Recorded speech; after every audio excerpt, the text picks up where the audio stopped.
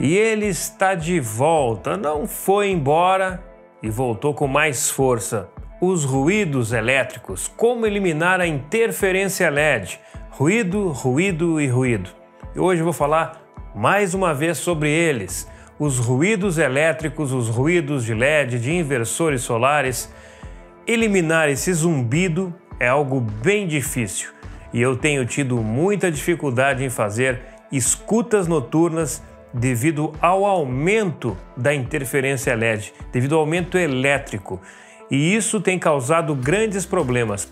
Hoje, sexta-feira, que eu estou gravando esse vídeo, eu fiz um teste e com o rádio portátil com antena telescópica eu consegui melhores resultados para fazer escutas para São Paulo do que com a Corner apontada entre São Paulo e Rio de Janeiro. Para poder fugir dos ruídos, das interferências elétricas, eu preciso tirar um pouquinho do centro da cidade, que vai dar bem na direção ali de São Paulo, e posicionar mais para o Rio de Janeiro, mais para o lado de Florianópolis, a minha antena, para poder escutar, fazer escutas noturnas. E que está ficando cada vez mais difícil. Eu não sei para oeste, que é um lado que eu não tenho nenhum tipo de interferência, porque vai dar para um espaço da cidade que não tem construções. Então, acaba se tornando mais fácil para mim fazer escutas para essa região quando tem propagação para oeste, porque geralmente a minha propagação é leste-norte. O que eu posso fazer para eliminar ruídos?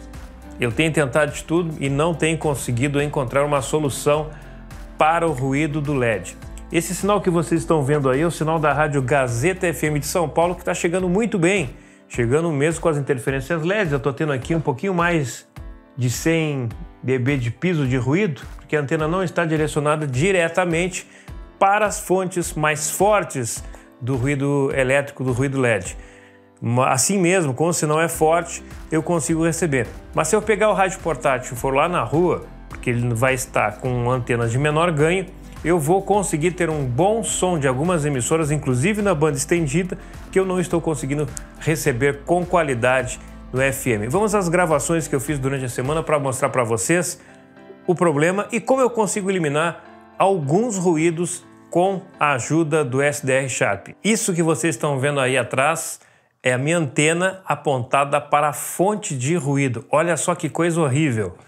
Eu tenho aqui quase menos 90 dB, está aqui batendo menos 95 dB de nível de ruído, praticamente ficou um amarelão ah, o gráfico ali do SDR Sharp, porque ele está com um nível de ruído extremamente alto. Isso são interferências LED, ruídos muito difíceis de ser removidos com o filtro do SDR Sharp.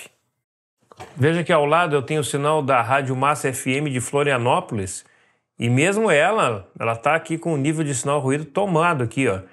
E a frequência está em 98.1 e algumas partes o sinal é bem mais forte. Já em 76 MHz já tem outro tipo de ruído. Esses ruídos, essas imagens verticais, são interferências elétricas causadas por um supermercado próximo da onde eu moro. E como esse mercado tem muitas uh, fontes de energia, dependendo do horário do dia, essa propagação elétrica acaba se tornando bem forte também. Mas em algumas frequências eu consigo usar um filtro que consegue eliminar isso. O nome do filtro é Noise Blanker. Vamos mostrar aqui então na ativação do filtro a diferença. Veja que eu vou ativar ele agora. Olha como o sinal cai. A interferência diminui muito ali na frequência de 76.7 MHz, tá? 77 MHz. Mas tem um detalhe. Para que esse filtro possa ser utilizado, precisa ter apenas uma emissora a ser atenuada, ou seja, não pode ter outras emissoras do lado aparecendo no gráfico, porque senão o filtro vai confundir como ruído também e vai atenuar o sinal da emissora. Isso eu consigo utilizar quando tem muita interferência elétrica ou causada por painéis solares, pelos inversores, que são de baixa qualidade. Todo o ruído elétrico ele é causado por falta de uma filtragem. Então, no caso aqui, o que acontece? Eu tenho muitas fontes de energia com filtragens ruins e no Brasil nós não temos nenhum tipo de fiscalização, então os ruídos elétricos, que, e é importante salientar que esse, essa causa desses ruídos, eles não atingem apenas a minha antena, eles vão atingir é, o rádio do seu carro. Muitas vezes seu carro tem muito LED e você ligar o rádio do carro, vai perceber o ruído, a interferência, um zumbido em alguma frequência que é causado pelos LEDs. E aqui neste caso são interferências elétricas. Veja que quando eu ativo e desativo o supressor de ruído, a parte de interferência elétrica cai muito. Veja que tem vários pontos ainda verticais, mas eu consigo matar os pontos horizontais de interferência. Agora, de volta à frequência 98.1, já perto das 9 horas da manhã, eh, vocês podem notar que já não tem tanta interferência de LED.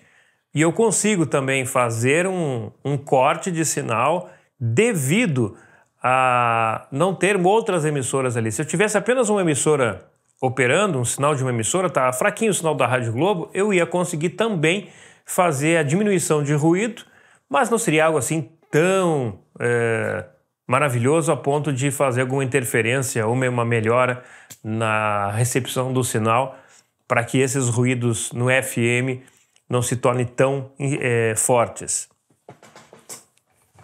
Então aí você pode ver, eu estou novamente ativando e desativando o Noise Blanker. Ali já tem um sinalzinho da rádio Globo no fundo.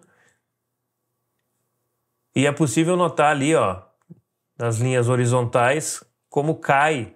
E ali eu estou com um piso de menos 105 de dB de ruído. E isso facilita um pouquinho, melhora um pouquinho na minha escuta do FM. Aqui é outro exemplo já na frequência de 87.7 MHz. A frequência baixa ela é mais suscetível para essas interferências elétricas, pelo menos para mim aqui. Vejam que quando eu ativo o filtro, a diferença chega a ser de 5 dB de piso, praticamente, quando está ativado, ou seja, melhora bastante. 5 dB dá uma melhora bem interessante no nível de sinal ruído. Aqui outro teste agora em 88.1 vou ativar o filtro e olhem a diferença. Presta atenção como eu consigo ter uma melhora substancial em relação ao nível de sinal ruído quando eu ativo o filtro. Vou ativar agora. Olha só. Olha a diferença. Isso aqui são painéis solares que já estão ativos com sol e faz essa diferença bem grande na qualidade de sinal. Agora você pensa que esses ruídos estão entrando apenas na antena de alto ganho? Não. Vou mostrar para vocês as medições que eu fiz com o rádio portátil durante o dia e a noite. Primeiramente durante o dia. Hoje o dia está nublado e não é o melhor dia para fazer esse tipo de teste, porque eu não tenho os inversores solares a pleno, né? Mas assim mesmo, olha só. Aqui, ó, só com a anteninha telescópica, ó, o nível de sinal ruído.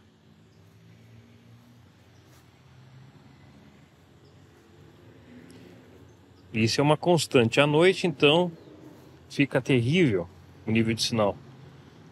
E eu estou numa frequência livre aqui, exatamente para mostrar para vocês como a interferência. Agora veja como aumenta muito o ruído, a interferência durante a noite. Vou voltar com o mesmo percurso que eu fiz. Eu acho uma fonte de energia por aqui que possa estar causando essa interferência. Muitas vezes a própria fibra produz esse tipo de ruído.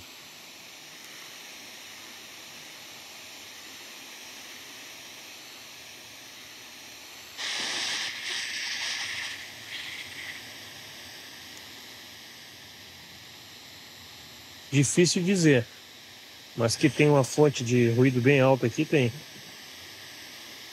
Então, é o que eu sempre digo: a, o zumbido no FM, a interferência elétrica, o ruído eletroeletrônico, ele está cada vez maior, cada vez mais forte. Nós temos fontes de ruído de LEDs, nós temos fontes de ruído de computador, de fibra ótica. Eu desconfio aquelas ruídos fortes que eu tenho ali na minha, no meu gráfico do SDR, porque você não consegue enxergar isso num receptor comum. Só o SDR para mostrar essa quantidade de interferência elétrica e eletrônica que nós temos. Pode ser torre de celular, pode ser lâmpada LED, o ruído pode estar chegando é, de alguma outra fonte como fibra ótica, tudo isso interfere no FM. O FM é muito suscetível a interferências. Eu acho que a pior parte da frequência é entre 88 a 100, 105 MHz ali, é onde tem o mais nível de ruído. Abaixo de 85 MHz começa a cair. E abaixo de 102, 103 MHz também começa a cair. Em 107 já está bem baixo. Então, naquela frequência maior, onde tem mais estações para a gente fazer a busca por FM, para o DX, acaba tendo esse problema grave de ruído. É só mais um vídeo que eu gostaria aqui de mostrar para vocês a quantidade de interferência elétrica que nós estamos recebendo e muitas vezes não conseguimos ver porque o rádio portátil ou o rádio convencional mesmo de base não mostra isso. E nos grandes centros, nós temos muitas emissoras com potentes torres que podem também gerar um nível de sinal ruído em toda a banda. Imagine então em São Paulo aí que nós temos dezenas de emissoras potentes com, emissor, com canais acima de 100 kW. Só a, a questão do sinal está sendo transmitido, toda a banda ao redor desse canal eleva o nível de sinal do chiado. O chiado do FM, muitas vezes, quando você escuta, ele não está sendo aquele chiado puro, é um chiado artificial, com muitas interferências, muitos ruídos, até mesmo causado pelas transmissões das emissoras potentes para quem está nos grandes centros. Ok, gente? Então queria colaborar com vocês, mostrando mais um pouquinho é, do FM das dificuldades que eu tenho aqui para fazer DX noturno. Durante o dia eu consigo dar uma boa driblada nesses sinais elétricos que são causados por diversas fontes, principalmente pelos inversores solares. Todos eles, principalmente os inversores solares, podem ser resolvidos. Os LEDs também, com filtragem de qualidade. Mas os equipamentos que são comercializados no Brasil, em sua grande maioria, são de baixa qualidade e essa interferência tende a piorar cada vez mais em todos os lugares. Gostou do vídeo? Então curta, siga o canal, colabore, compartilhe, porque domingo que vem eu tenho uma novidade para vocês. Vou estar mostrando aqui um novo rádio que já está chegando para mim e vou fazer vários vídeos falando sobre ele. Fique ligado que vocês vão gostar. Um abraço e até o próximo vídeo.